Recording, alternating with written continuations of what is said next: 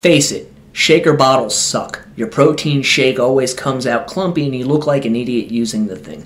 That's why I decided to ditch my shaker bottle for good and get myself a BlendJet 2 portable blender. It makes perfectly blended protein shakes that come out smooth, creamy, and delicious in just 20 seconds. So go to blendjet.com and use promo code DCASTPOD at checkout to get 12% off your order. That's promo code DCASTPOD to get 12% off your order at checkout. Have you ever wanted to learn a new language, but just didn't have the time or money? I may have a solution for you. Her name is Jessica, and she gives free Chinese lessons daily at 11 p.m. Beijing time and 11 a.m. Eastern Standard Time. Chinese is fun and easy if you have the right teacher.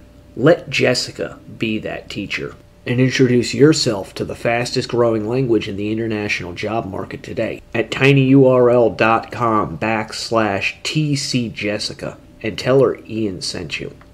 Hello and welcome to the Deathcast, a place the cool, creepy kids come to learn about their true crime. I'm your host, author, and journalist Ian Tott, and I'd like to thank you for joining me as we prepare to take our 11th look at the case of the West Memphis Three. Before we get into the case proper, as always, I have the normal show notes. If you'd like to follow the show on social media, just search for the Deathcast, Deathcast Pod, or Deathcast Podcast. You can find me on most social media platforms under one of those monikers. If you'd like to help the show, there's a couple ways you can do that. First and foremost, you can go to your favorite podcast app, subscribe, and leave a five star review. Another way you can help the show is consider making a one-time donation at buymeacoffee.com backslash the deathcast. You can find that link in the show description. And lastly, if you are interested in becoming a longtime supporter of the show, such as our friends Channel and Anthony, you can go to the Patreon page, tinyurl.com backslash dcast Patreon. For as little as $2 a month, you can become a Patreon member and get access to exclusive content such as early shows ad free, as well as exclusive episodes. I'm currently in the process of working on the first of those right now. All right, now that all that's out of the way, get yourself something to drink, find a nice comfy chair, kick back and relax. I've got my coffee, I've got my cigarettes. Let's go into the crypt. We left off last week. The defense team had just finishing Damien Echols, and just in my opinion, they really didn't do a very good job of having Damien paint himself as someone who was not guilty. One little piece that I left out is that Damien actually got defensive on the stand when discussing what Wicca was and what the word meant. He called the current form of Wicca a quote unquote bastardized form, which to the judge and jury, anytime you have a defendant who is on the stand that gets defensive, that does not look good. They start wondering why you're getting so defensive. And it makes them question as to whether or not you're being truthful or if you're actually being defensive about something because you are lying. Prosecution starts off by asking Damien if he's on any types of medication. He admits that he is, stating that this medication is in fact for depression. They ask him his girlfriend's name, to which he responds Dominique Teer. For asking him whether or not the Hollingsworth are in fact related to Dominique, that they'd be able to give a good description of her, as well as whether or not they would be able to give a good description of Damien. We're going to look at a piece of testimony here where they're discussing Narlene Hollingsworth. Quote, Question, and she knew that you dated Dominique, correct? Answer, yes. Question, and you have heard her testify in this court under her oath that on the night she came off the service road, she flashed her bright lights, and there was you and Dominique T right there on the service road down from the Blue Beacon. You heard her testimony. Answer: Yes, sir. Question: Do you know any reason why she would make up that story? A. Maybe she thought she did.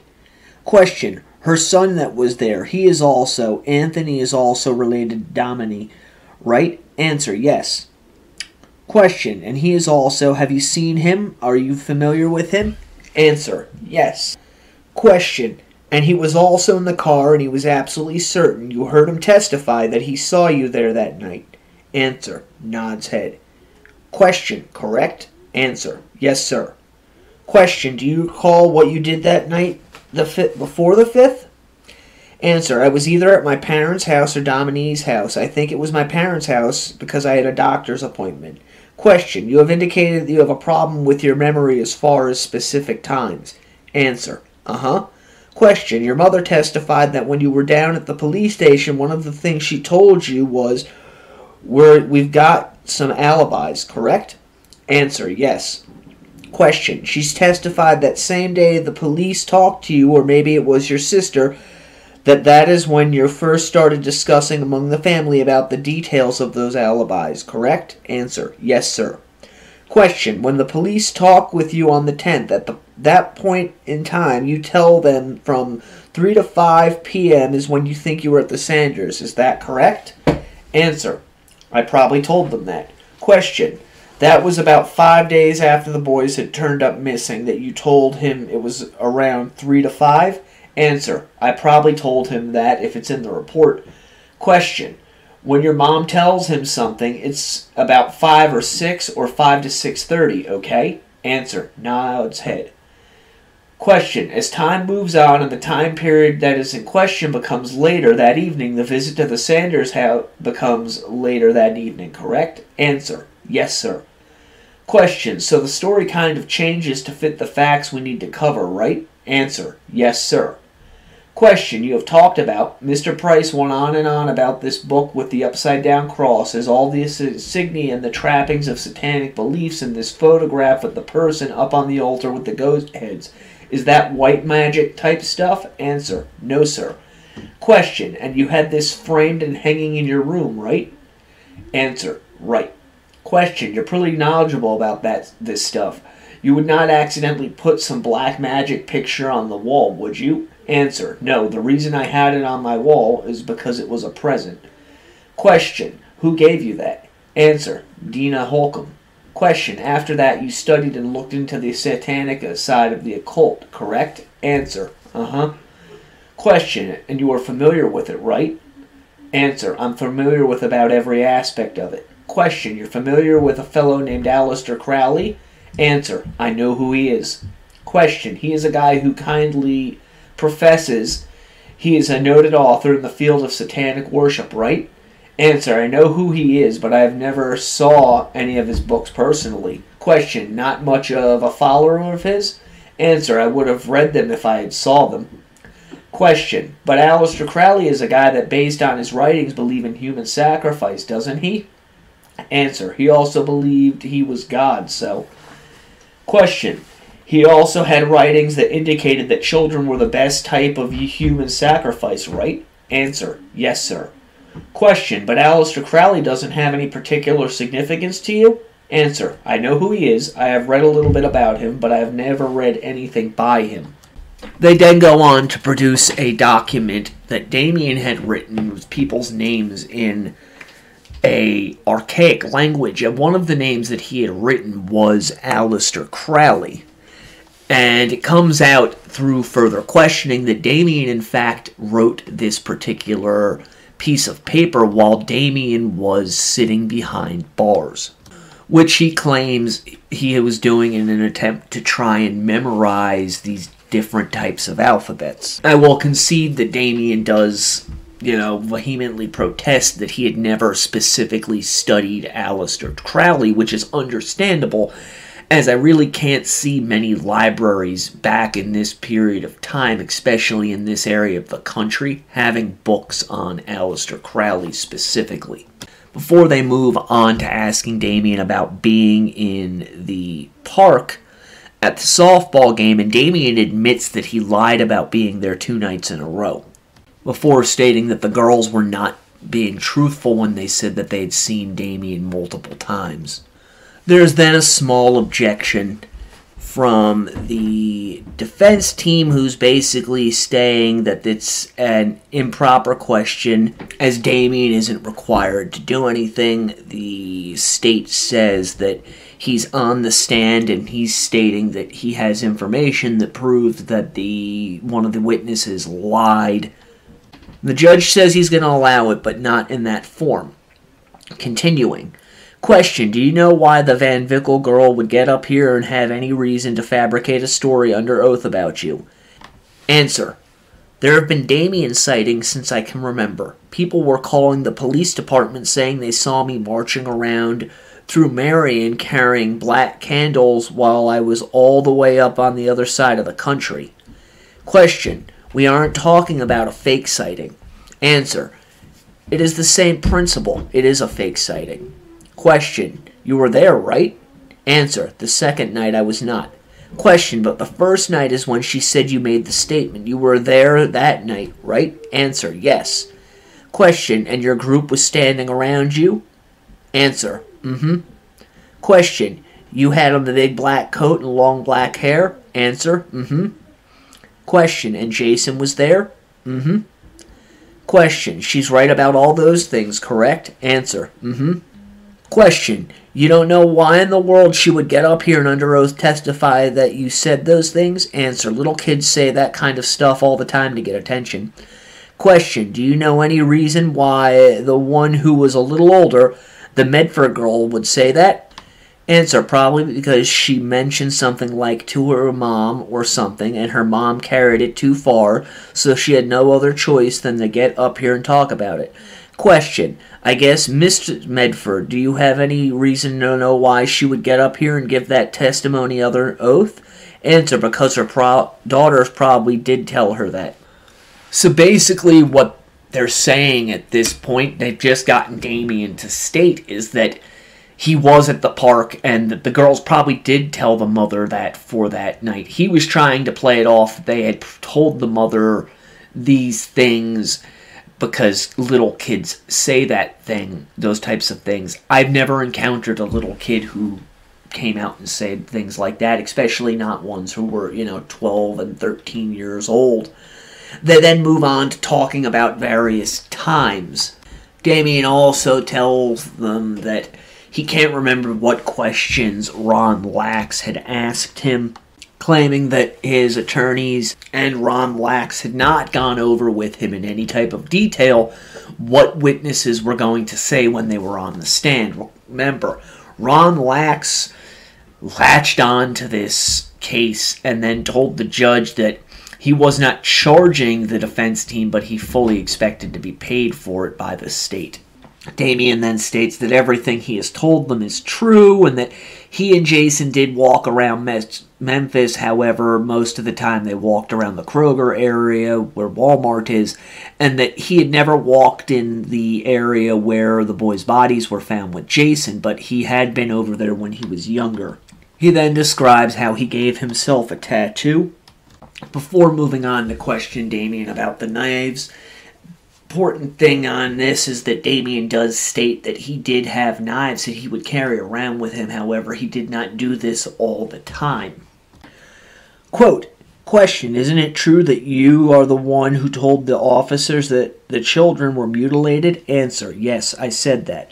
Question, that was on May 10th of 93. The autopsy was done on May 7th, so we're talking about four days after the body recovered. Answer, mm-hmm. Question, said they were probably cut up one more than the others. Those are your words, aren't they? Answer. He asked me, was one cut up more than the others? I said, yes, they were probably. Question. You indicated that you had heard they were drowned? Answer. No, I indicated I heard they were mutilated. Question. So when he put down in his response to that question, heard that they drowned, he made that up too? That just isn't true? Answer. They made up a lot of stuff so far. Question. Answer my question. Answer. No, it's not true. Question. You never said that. The officer just put that in on his own? Answer. Yes, he did. Question. When he put that in there regarding whoever committed these crimes probably thinks it's funny and that he won't get caught and won't care one way or the other if he did. Did you say that? Answer. Yes. Question. The officer didn't make that up, did he? Answer. No, I said that. Question. You told the officer was that you told him you thought the person who did it would think it was funny. Answer. Yes. Question. And would you not and would not care one way or the other if he got caught? Answer. Probably not. Question. Mr. Price has asked you about your feelings about being arrested. You said you had good days and bad days. Was it a bad day the day after you were arrested when you blew a kiss to the victim's family? Was that a bad day when you did that? Answer. That was one of the times I lost my temper. What they're doing here is they're painting Damien in a bad light as possible by showing him to be a callous, uncaring individual towards the victims and their families. Again, as I stated in earlier episodes, Damien Echols really hung himself as much as Jessie Misskelley did. And as you can see from this testimony as it goes on, it's just getting worse and worse for him. Continuing on. Question You lost your tempers while you blew a kiss to the victims' families? Answer Yes. Question And you did make the statement to the officer that I will tell you all about it if you let me talk to my mother? Answer I said I will tell you everything I know. Question If he says in his report that you said I will tell you all about it if you let me talk to my mother, that's inaccurate too? Answer That's another of his lies. Question and it is your testimony that you are just interested in Wiccan religion and nothing involving the black witchcraft or satanic practices? Answer, I'm interested in it. I read it, but I don't practice it. Question, these books where you have handwritten things and certain symbols on the books and your references that you made to Aleister Crowley, the person that is a supporter of human sacrifice that writing that you made while in jail out here, that is all just a result of your interest in black magic, not that you practice it? Answer, that and being bored. Question, do you have any satanic incantations out here while you were bored? Answer, no, I do not. Question, and LaVey, the person that you indicated to the officers that was one of the persons you read a lot, that is not Wiccan white magic, is it? Answer, no. For those of you not aware, Anton LaVey was the founder of the Church of Satan out in San Francisco back in 1966, I believe it was. And he wrote a number of books, among them the Satanic Bible, a book on spells, and a few others. Before moving on to the Hollingsworths, where the prosecutor asks Damien why that Hollingsworth would say that. Damien states that he's had a few arguments with them in the past, that they were all very familiar with each other. And for some of you wondering why they're questioning him in this manner, thinking, you know, that that's not right, they're jumping back and forth with this questioning like this. This is a tactic of lawyers. This is how they operate in court. It's just like with the police. They jump back and forth and they'll come back to something that you talked about three or four minutes ago in an effort to try and get you to perjure yourself on the stand because if they can get you to perjure yourself on the stand, then all of your testimony is pretty much null and void and you've really hung yourself in the eyes of the jury because if you're lying about that, how how can they believe anything that you have said prior to that? This is why lawyers will coach their clients before putting them on the stand in an effort to really hammer them with questions so they don't get ruffled while telling their side of things. Damien then claims that he doesn't remember anything that happened the day before or the day after. They then discuss the fact that Damien had written his son's name down on one of the documents that he had written while in jail in the archaic language, and then the defense team objects and they approach the bench because the prosecution wanted to introduce something into the evidence at trial that the defense team claimed they had not yet seen. This piece of evidence apparently came from Damien when he was in jail and was actually a photocopy, which the defense objects to being entered into evidence.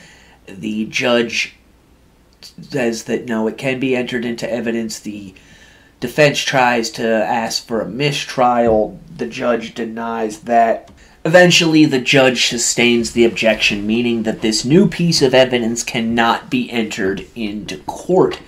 The defense wants to have a hearing to find out who gave the prosecution this piece of evidence. Then the defense goes on about violation of their client's rights, and eventually the judge says that he's not going to allow the evidence, but he will allow the testimony to stand, and he's going to call court until 9:30 the next day, which was March 10th of 1994.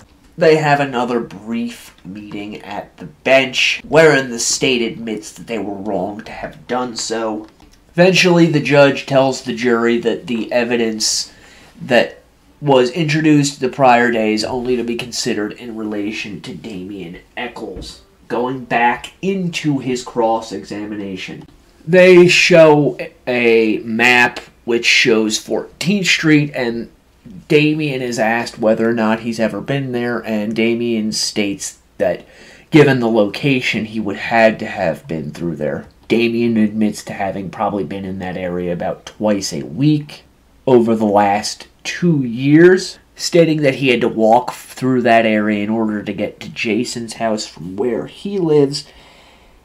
He states that he lived over at the Broadway trailer park. Damien shows them on the map where exactly it was that he lived. He also states that there were other people in Lake Shore that he was friends with who he would see. Damien is asked if he was a member of a white witch group, to which he says no. Further pressed on it, Damien states that he told the officers that he was a white witch and had been one for roughly five years, but not that he was a part of any organization. He's pressed on it further. Damien states again, I've never been a member of a group. Damien says that the officer made that particular piece of information up they then discuss Damien's medication. Damien states that he is a manic depressive. He's asked to describe the difference between a depressive state and a manic state.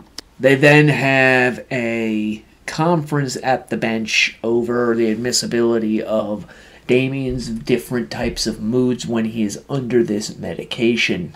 The court rules that he can ask this question because it's relevant to the case at hand, and the court warns the prosecutor not to go into specific uh, acts of conduct. Question, Mr. Echols, when you have these mood swings and your medication is out of balance, do you have do you get violent sometimes? Answer, only towards myself. Questions. So you are telling us that these mood swings that occur, you don't get violent toward other people? Answer. It just makes me suicidal. Question. So your acts of violence towards other people have been the result not of any medication, but just just out of anger? Answer. My medication doesn't affect how I deal with other people. Question. The incident in Oregon, you had an altercation with your father out there, is why you came back before they did, right? Again, there is an objection as the defense does not want this particular incident discussed. Judge allows it. Damien is asked if he came back before his parents did. He agrees that this is true.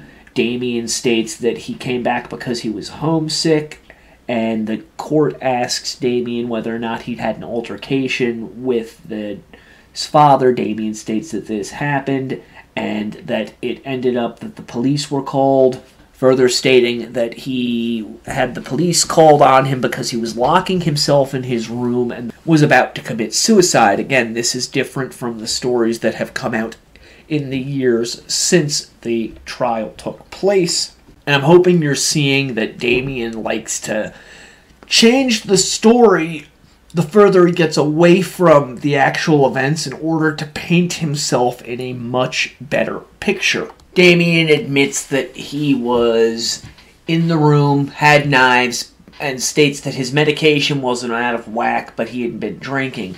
He states his family told him to give him the knives, that he gave them to him, that the police did not take them into custody, and that he then was shipped back to Arkansas after his stay in the hospital.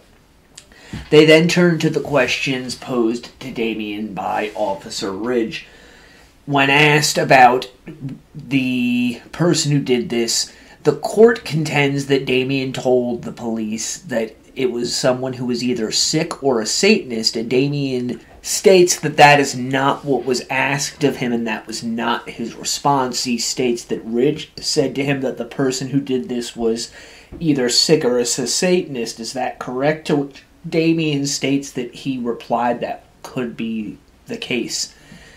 Next, they move on to question number nine.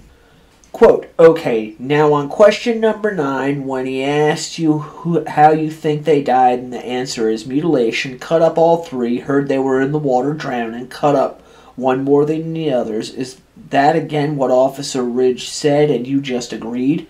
Answer, no, I had saw that on TV, newspapers, people talking. Question, and you knew about the drowning, correct? Answer, I knew they were in the water. I didn't know that they drowned. Question, you knew that one was cut up more than the others? Answer, whenever they were asking me about mutilation, I thought different from mutilation. What I call mutilation was different from what I seen up here. Question, I was asking about one being cut up more than the others. Answer, he asked me, was it possible? He said, do you think one was hurt worse than the others? I said, yeah, I guess. Question. So again, that particular area was one of those things where Officer Ridge told you and that wasn't your response. You just responded about the drowning and mutilation. A- answer. If he didn't get the answer he liked, he would go back and try and get me to say something else. Question. And it is your testimony specifically that you weren't the one who said one was cut up more than the others? Answer. No, I did not. Question. That was Officer Ridge that said that? Answer. I agreed with him when he said that. Oh, question. Okay, but the other parts of that answer were your words, not Mr. Ridge's? Answer. Inaudible. Damien's then asked about question 11, which is how do you think the person feels? And Damien states that he thinks the person probably feels good and has power, before further stating that he gave an answer that to him was common sense. He's asked if the statement give him power means magic. Damien says no, that's not what he meant. Elaborating, quote, they probably thought, well, that they were like overcovering other humans or something. Damien is then asked about question 19 about whether or not he had ever thought about killing somebody else, and Damien's response had been, Gosh, I never thought about killing anybody. Damien is questioned about this and says that he doesn't remember what it was that he told the officers. There's an objection as it's not Damien's handwriting, and the prosecutors can't make out what is said on the actual paper. They then move on to further questioning, and Damien states that whatever is done to you comes back threefold, be it good or bad. Asked about the answer Damien gave as to why the person would do this, Damien stated that it was a thrill kill and or a satanic act. Before turning to the fact that According to Ridge, Damien stated that the number three was a powerful number in magic. Damien states that he was wondering why Ridge, while questioning him, kept bringing up the number three and questioning about him about having three earrings and why it was a big deal. Quote, I wondered what three had to do with it because he made a big deal out of me wearing three earrings and anything with the number three he was making a big deal out of. I didn't understand that. Question.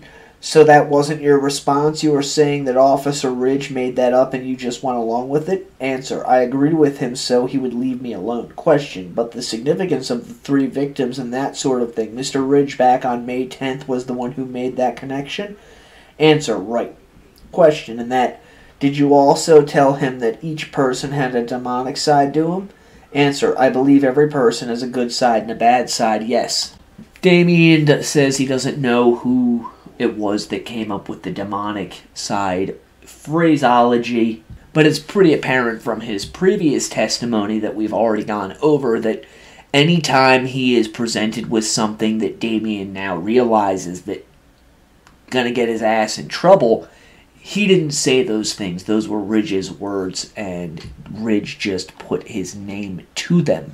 He admits to saying that the younger the victim, the more innocent and the more power that they would give the person during the kill- killing.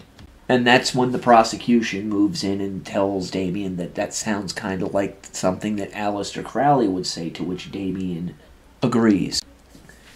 Damien then says that this stuff is things he's gotten from movies and tele- and books. Damien also says that when Ridge asked him, was it possible that the killer knew the victims and asked them to meet them in the woods, he stated yes, it was possible.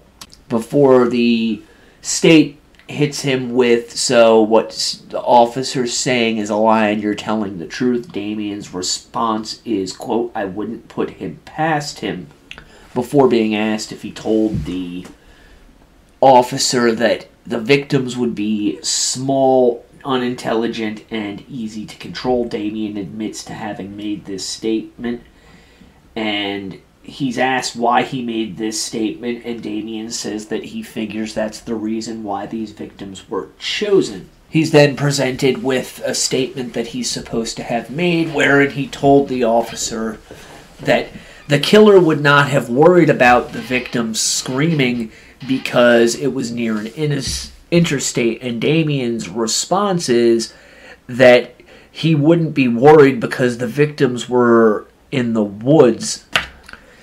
Then he's asked if he told Officer Ridge whether that the killer would probably enjoy wanting to hear the victim's screams, to which Damien said, quote, if he got off on killing people, he probably would like to hear them scream. And the prosecutor then says to him those were Officer Ridge's words, and Damien agrees. Question And is that also part of the common sense that whoever kills eight year olds can feel good, and whoever kills eight year olds would like to hear them scream? Is that part of your common sense philosophy?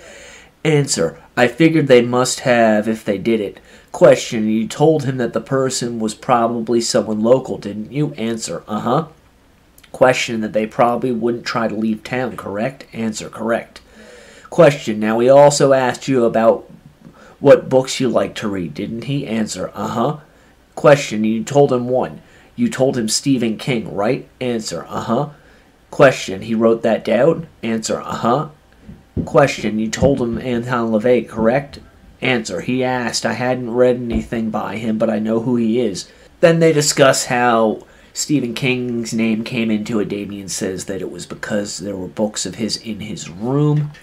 You can see that the prosecution is really doing an admirable job of painting Damien as someone who backtracks on the things that they are purported to have said in order to make the other individual look guilty of having said these things, i.e., he's a liar.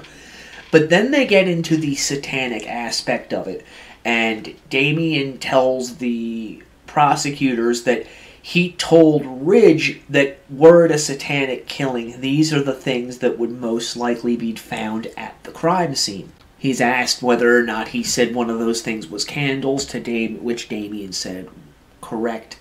And then he's asked whether or not he heard the testimony where uh, someone from the state crime lab stated that there was candle wax present on one of the shirts. Damien agrees with him on that. Before stating that what was found and what he told the police was consistent with what was found on the scene. Damien then admits that that would be redolent of a satanic murder before they move on to the fact that Damien wore his trench coat with him everywhere. Damien states that even when it's hot out, he likes to wear the trench coat because it's part of his liking to wear black. I can't fault him for that one. I was very similar to that. They talk about where Damien's trench coat was found. Damien states that the trench coat was found on the floor near the closet in his sister's bedroom where his clothing comes from, and then the prosecution goes back to asking him about the candle wax. Damien says, quote, it could have been whoever killed him did it. He could have got it before he left home. I don't know. At which point they pass back to the defense for re-examination. The defense starts by having Damien read the headline from the commercial appeal on May 7th, 1993. The headline is Mutilated Bodies of Three Boys Found in Bayou. Damien is asked to read a part from the article the prosecution objects, and then they bicker about whether or not Damien should be allowed to read these. Eventually, it is sustained. He is asked to read the article. Damien reads the part. Quote, autopsy showed three boys died of multiple blows to the head. The West Memphis boys found dead Thursday in a slow moving creek were killed by multiple head blows, police lead investigator said Friday. Question Okay, the state asked you earlier about an incident with some kind of a fight or something that you got into with a gentleman you were trying to claw his eye, eyes at or something. Do you remember that particular incident? Answer, yes, I do. Question, do you remember when that occurred? Answer, I am not sure what year or month or anything it was, but I think it was when I was in ninth grade. Question Okay, tell the jury who was involved in that and the background of that. The prosecution then objects, as the defense had earlier objected to the prosecution asking about specifics of the assault that took place and any of Damien's other violent crimes. And eventually, the defense realizes that they should not have gone down that road and asks that that particular line of questioning be pulled back and they do not wish to pursue it further. At which point, the defense rests on questioning Damien Echols. It is then the prosecution's turn to question Echols yet again, and they go over the newspaper articles and they point out to him that doesn't really say in there anything about the boys being mutilated beyond the headline, specifically one of the boys being mutilated worse than the others. Damien agrees with him that this is in fact the case, at which point the prosecution rests on questioning Damien Echols and the defense declines to question him further. I have to believe that at this point the defense realized that Damien had cut his own throat, so to speak, because they did not have any follow up questions for them over this such as, okay, you didn't know this from the newspaper, where did you learn it? They can then harass the court to give them a delay in the proceedings so that they can try and get discovery to see if, in fact, this does exist. Court probably would not have granted it, however, as the trial was already ongoing. Misskelley did not testify at the trial, which shows some semblance of intelligence on his defense team's part and that they were able to convince him not to testify at trial. That being said, the trial began on February 28, 1994, and ended on March 15th, with jury deliberation beginning on the 17th it came out later that the jury saw Damien Echols as having someone with, quote, something to gain, dishonest, manipulative, weird, satanic follower, Anton LaVey, Aleister Crowley, fiber match, incriminating testimony, Ridge, too close to facts, blew kisses to parents, traveled to crime scene 200 times two years, lied, carried knives, secondary confession, ball field girls, lied during testimony, imp- inappropriate thought patterns, no credible witness, eat father alive, and wax on book shirt mention. For pluses, they put that he was intelligent, manic depressive, stuck to story, and had a loyal family. Baldwin's negatives were listed as Damien's best friend, jailhouse confession, low self esteem, fiber match, knife, and frequented crime scene, while his pluses included in school, stuck to story, and exhibited remorse. We didn't touch on the supposed jailhouse confession that Jason Baldwin is said to have given. Uh, I'm not really going to touch on it because I personally don't believe that that actually happened. I think more likely than not it was a case of an individual who was looking to make a deal with prosecutors, and because of this, came forward to the police with information that probably wasn't true. Echols and Baldwin were both found guilty of capital murders. It was during the penalty phase that Exhibit 500 came to be, which is really everything about Echols' mental health struggles. Compiled by Inquisitor Inc., which was a investigative firm owned by Ron Lax. When the penalty phase ended, the jurors began deliberating on what the penalties should be. This was on March 19th, and they took over two hours to reach their conclusion. Echols was sentenced to death as he was seen as the ringleader and mastermind behind these crimes, while Jason Baldwin was sentenced to life in prison without the possibility of parole. Obviously, they appealed this, but on 44 points of appeal, these convictions were confirmed. Now, we need to discuss what comes next. We are going to talk about the next 20 years, but we're not going to be spending as much time on it as I have on everything leading up to and including the crimes as well as the trials. People have a mindset that they remember when these crimes happened because they were national news they were not national news. I remember because I watched the news religiously during this period of time, and in fact, during most of my high school years, for just this type of thing because I found it fascinating. You would see blurbs here and there about crimes such as this in newspapers. Every now and again, you would get something having to do with a crime like this on the national news, but I can promise you that the West Memphis Three never made national news on New York television stations out of New York City, which is where we got our news from.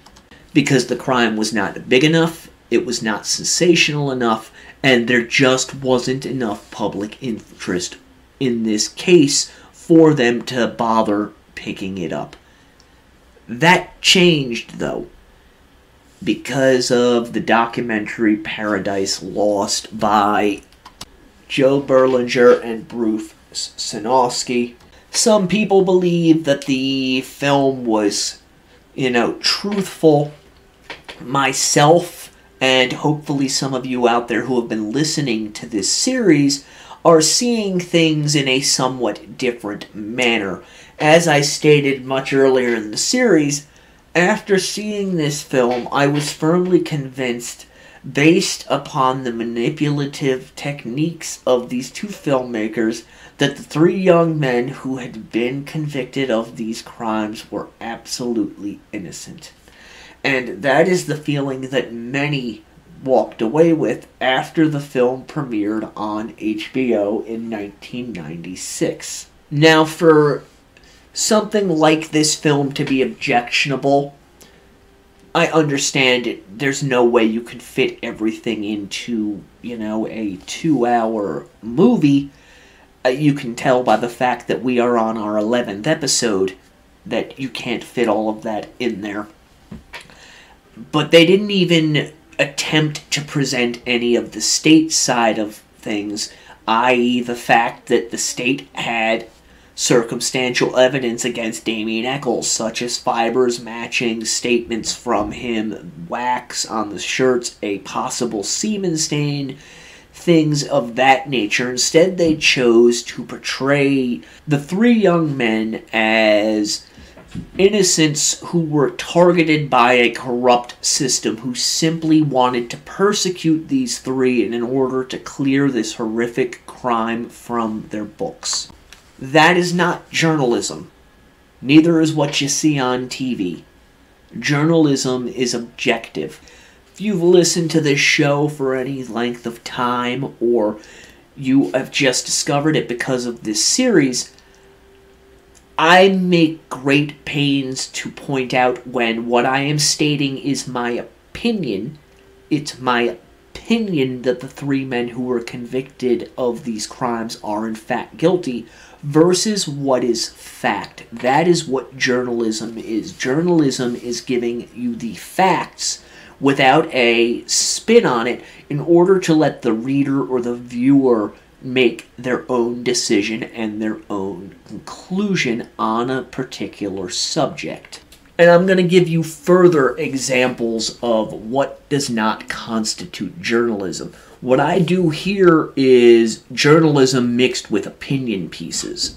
Because I cover these cases for the most part from start to finish to the best of my possible ability with all the available resources at my command. And I inform you during the course of these whether I'm giving you my opinion and when I'm giving you fact. The testimony I gave you of Damien Echols was fact. He said those things, those questions were asked of him. If you look at, I don't know, the Gilgo Beach slangs, many people have opinions on that.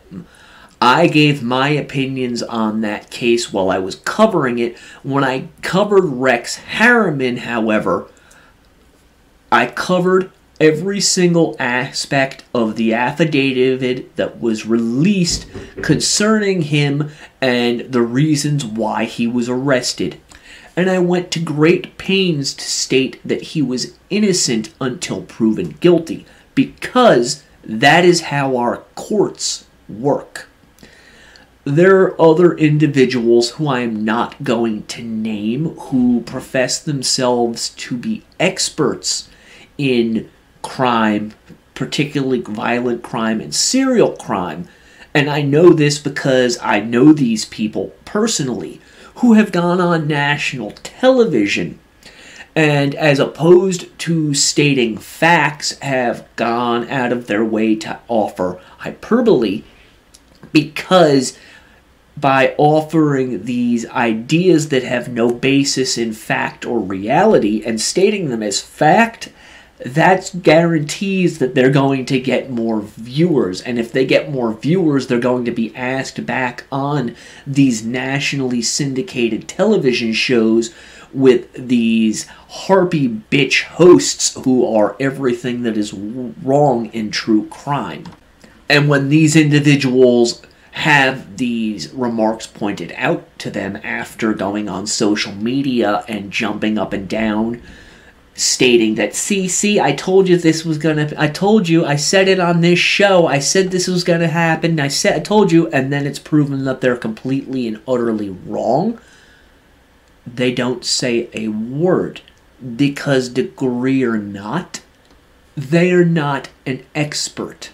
They are a layperson who works out in the field but not in the field. And what I mean by that, unless you are working actively as a lawyer or you have worked actively as a lawyer, unless you work actively as a police officer or private investigator or have worked at those things, you are not one of them. It doesn't matter what degree it is that you have. You are not an expert on these things. If you do not work in that field, out in the field doing this type of work on a daily basis. You may be an expert when it comes to book knowledge, but that does not make you an expert when it comes to field knowledge, which is why I detest those individuals because they are quasi professionals trying to amplify themselves and their voices by stating things that are in fact not true and have not ever been proven to be true in an effort to make themselves appear bigger than they actually are. And the public laps all of this stuff up because everybody has become a quote unquote expert thanks to shows like CSI and Mindhunter and books by those individuals who are involved with those things in the real world, unless you're doing it for a living, you're not an expert. As I stated, I'm not an expert. I'm a journalist. I cover the cases. I try and present every single aspect of a case that is worth being presented. And I do put my opinion in there. But I let you know it's my opinion. That's not what we had with the West Memphis 3 case, however, we had a very slanted story on what took place and what, how the filmmakers believed that the case actually happened, as opposed to presenting the facts and allowing people to make their own minds up about it. And because of this film and the hype surrounding it, the three men who were convicted of these crimes were able to get support from the public. Unfortunately, it was an uninformed public who only knows what the talking heads tell them, and I'm talking directly at specific people within the West Memphis 3 movement who came out from Hollywood and from California in general in order to rally the troops behind these three falsely convicted boys. See right there, that's opinion. These individuals raised funds for the killers, got newspaper articles printed about them, had billboards put up all around the area asking for help in an effort to try and get these three men exonerated. And in doing so, they also attracted the attention of Hollywood bigwigs such as Eddie Vedder and Johnny Depp and the guy that did the Lord of the Rings trilogy and numerous others. Because of this, these three men, who, in my opinion, were rightfully convicted, ended up having millions upon millions of dollars poured into their defense fund. But I should point out that even with all of this going on, the story largely did not make it onto a national stage after the initial shock of the film wore off. And if you haven't seen the film, I do encourage you to go and watch it because it's an important piece of documentation of this case, but I do have to warn you the opening scenes are some of the most graphic things that you will ever witness, and they will disturb you. The reason that I say that you should go and see it, though, is you can see how this affected the parents.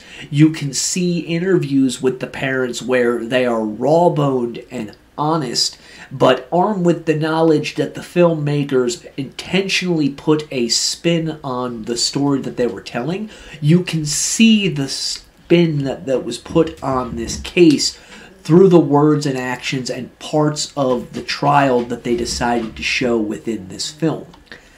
Now, they followed this up in 2000 with Paradise Lost Revelations, which was right around about the time that I started not believing the story that was being put out there. I remember watching it, and if you haven't seen it, the entire synopsis of it breaks down this they're looking for another killer because these three young men are not responsible. They can't be responsible. They've been railroaded by a you know, religious Bible Belt community hell bent on holding individuals with beliefs different from their own accountable for crimes that they did not commit. So the entire focus of this film is John Mark Byers and a knife that he gave to producers during production of the first film. Why John Mark Byers gave these men this knife, I do not know, but he did it. It should be pointed out, though, that it was not a large knife. It was a pocket knife, and it was found to have some blood on it that could have belonged to either John Mark Byers or his son. So that's what they focused on in this film. John Mark Byers as the possible alternative suspect, and they went so far as to pay John Mark Byers and to encourage him to go out and use drugs and alcohol before they began filming. At which point, there's a scene of him in the woods. He's obviously fucked up, screaming for his son and demanding answers and justice and burning stuff, and it's all very dramatic. And the first time I saw this, I said, some shit ain't right here. There's no way that this guy of his own volition went out into the woods and did this without some coercion from somebody else. And I later learned that it was, in fact, at the behest of the filmmakers because John Mark Byers I don't know how any other way to put it. He was not a massively intelligent man, and he did not understand what these two guys from frickin' Hollywood were trying to do. That they're trying to manipulate him to paint himself in the worst picture possible in order to make these other three men look bad. They transported him to various hearings, wired for sound, and had him confront West Memphis 3 supporters basically making him look like a lunatic. They also began presenting a false evidence story that the knife wounds to the boys did not, in fact, come from a knife, but were either caused by a animal snapping turtles, which you heard me talk about in other episodes, or that John Mark Byers, who had had his teeth pulled and replaced with dentures since the time of the killings, had actually bitten the boys, and it was his teeth that had done it. They tried to present it that John Mark Byers had done this because he knew that they'd be able to match the bite marks to him Newsflash bite marks have been found to be unreliable in court, and almost any time they are presented in court at this time, they are seen as being the same thing as a polygraph examination. They have no basis in court and are thus not allowed to be entered into evidence. So that piece of the fabric for their story goes right out the window with that. Never mind the fact that John Mark Byers was a drug user who never took care of his teeth, which is the reason why he had to have his teeth removed. Eventually, Byers begins to realize what they're doing to him during the filming of this and agrees to take another polygraph test, which, surprise, surprise, he passes. Again, though, interest of fairness, I think polygraphs are bullshit. They also talk about the Mr. Bojangles, which is the African American man who was seen in a bathroom covered in blood with a broken arm. And really, that's how they end the film with, you know, these linger questions of who really did it. And that's one of the tricks that the filmmakers and subsequent supporters have used is to only present one side of the facts or present a skewed version of the facts as opposed to presenting them as a whole and letting the individual themselves decide. And we're going to talk more about this in the next episode where we discuss the third film and everything that has happened since then, which will probably be the last episode on the West Memphis 3. Again, I'm not going to dive down the deep rabbit hole on all of the twists and turns concerning this case because I've presented to you the facts as they were originally presented in open court.